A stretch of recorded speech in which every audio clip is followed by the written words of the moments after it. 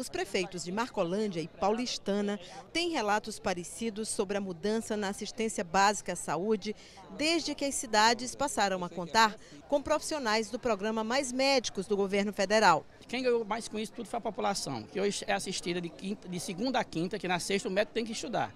Então, um médico do, do, programa não trabalha, é um cubano, muito bom médico, 20 anos de experiência e a população está super satisfeita com eles. A gente não tem hospital, né? Nós temos um posto de saúde lá, avançado, muito grande, uma estrutura boa, mas nós não tinha médico. Então, hoje nós temos médico e a, e a população está sendo assistida. Ela é tão querida lá pela população que eu já tentei mudar ela para outro povoado, nem ela quer e nem a população aceita, né? Então, ela gosta tanto de trabalhar que no mês de fevereiro choveu muito bem na região, graças a Deus. Passou uns oito ou dez dias as estradas interditadas, sem poder passar para ir para o povoado do Itanzinho, e ela chorava.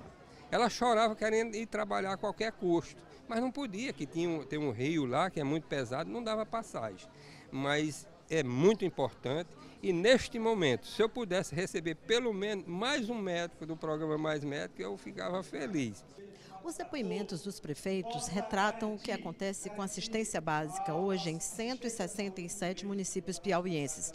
O total de cidades que já recebeu profissionais do programa Mais Médicos do governo federal.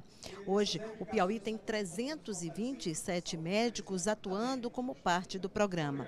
42 apenas são brasileiros e os demais são estrangeiros.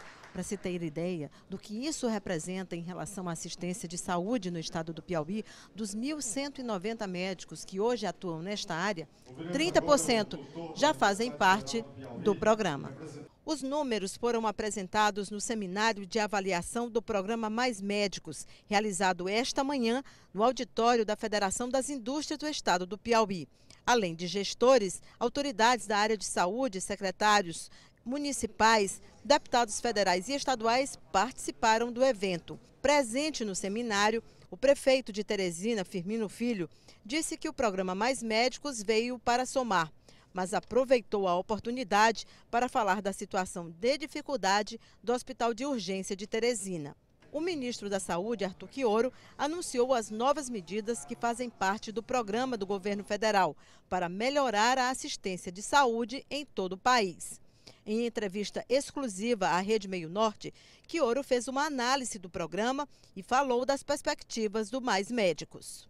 O programa ainda é muito recente, tem a aprovação da população, dos prefeitos, dos secretários, porque de fato ele está levando atenção básica de qualidade, mas a gente tem os diabéticos sendo acompanhados, os hipertensos, melhorou muito o acompanhamento do pré-natal, isso vai impactar na mortalidade infantil, na mortalidade materna, já está diminuindo o número de encaminhamentos desnecessários aos hospitais, aos pronto-socorros, isso vai desafogar, inclusive, até para que os hospitais possam atender os casos mais graves, porque a gente tinha aquela concorrência por falta de oportunidade de acesso. Então a presidenta Dilma está muito feliz, hoje são 49 milhões de brasileiros, 1 milhão e 100 mil pessoas na, neste estado que passam a ter direito a atendimento básico, tá certo? E como eu disse, um atendimento básico mais perto de casa, com mais carinho, com mais dignidade, com mais respeito à população.